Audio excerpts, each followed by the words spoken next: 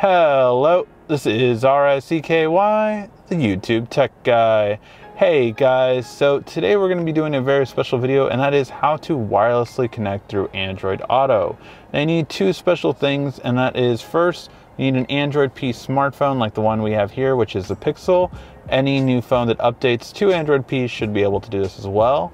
And then you need a very special deck like the one we have here from Pioneer. It is the W8400 NEX, and it's a pretty awesome one. The review will be in the description down below.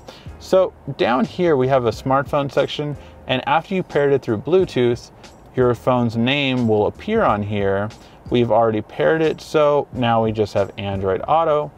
And it's just that simple. You automatically wirelessly connect with your smartphone. Smartphone screen turns off. If you try to turn it back on, it'll have this little display here just saying that it's on Android Auto. The whole idea behind this is that you can fast charge your smartphone or wirelessly charge it it has the capability and you have your entire Google ecosystem on here with Google Maps phone calling. You have your home, which will have all compatible apps as well as your music. And of course, you can always go back to the Pioneer deck. Now, this is a really simple layout. We've gone over this in our overview video, but the whole idea behind it being wirelessly connected is a much better experience in my opinion, just because you can fast charge your phone and still use Android Auto perfectly.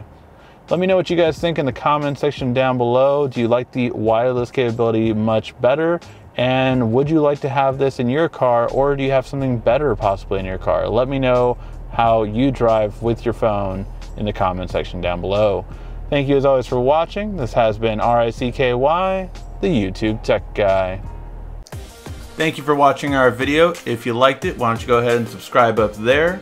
Make sure you follow us on social media right here and of course, check out our latest video up there. And right down here, you're going to find the perfect video for you. Or at least that's what YouTube tells me. Thanks again.